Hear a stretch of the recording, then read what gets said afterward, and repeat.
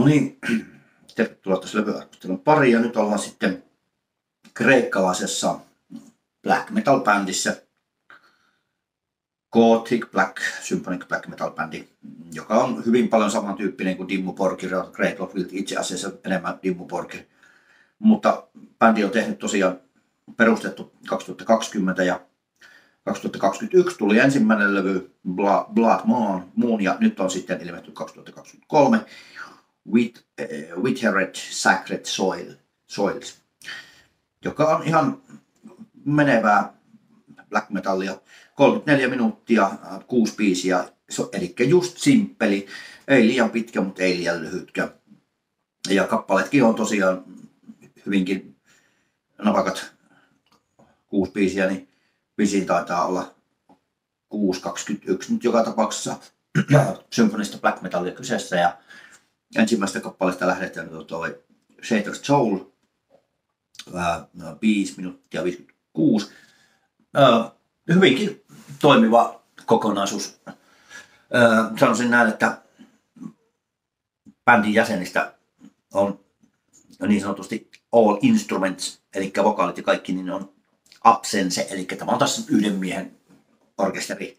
Eli nämä on näitä niin sanottuja kaikki soittimet, ehkä eli tietokoneella tehtyjä osittain voisi sanoa, mutta siis erittäin toimivaa ää, siinä mielessä, että jos miettii niin kuin Red Hilton bändi ja Dimmu Porkison bändi, jossa on jäsenet, kitaristit, rumpalit ja muut.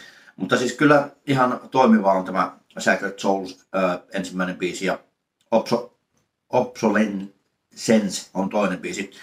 Viisi minuuttia vähän yli samalla meiningillä mennään.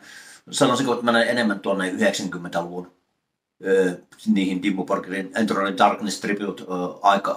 Tai sitten, jos vietitään sitten taas Seance, eli kolmospiisistä lähdetään, niin sitten menee taas tuonne Great Bilti, Dusker Emprise tai no, esimerkiksi to, to Beast.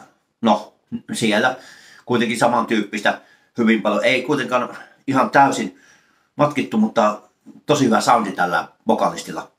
Eli sopii erittäin hyvin tähän nelospiisissä uh, uh, Surrounded uh, by Sin on älyttömän hyvä semmoinen symfoninen black metalin tunnelma. Siis, siis ui, huippu hyvä levy. Sitten vitospiisi The Eternal Lie. En, se taitaa olla tämän, joo, onkin tämän levy, lyhyin biisi. Um,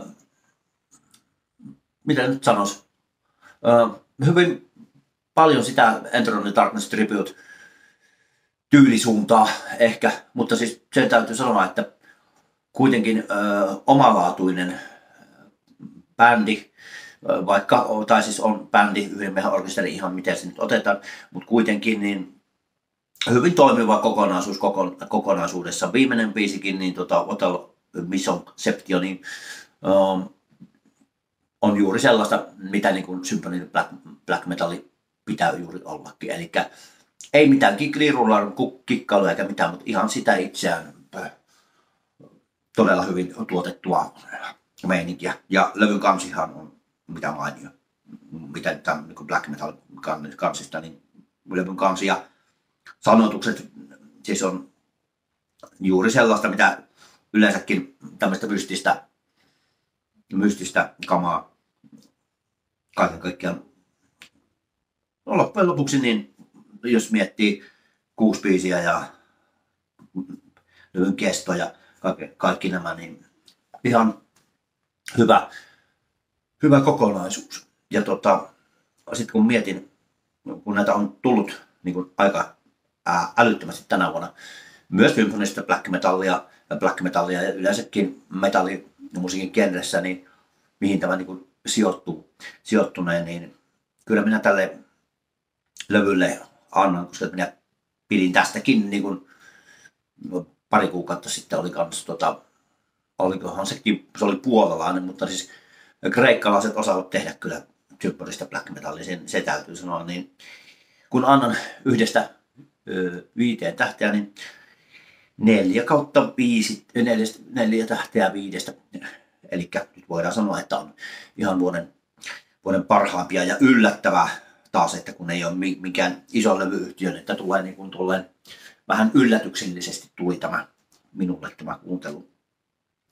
Niin, siinäpä se on, eli Moon Scar ja With Heret Sacred Soils ja neljä tähteä viidestä. Kannattaa kuunnella, se on symfonisen black metalin ystävä.